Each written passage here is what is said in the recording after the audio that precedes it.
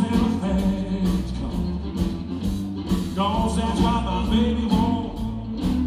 Hope you don't push me too far.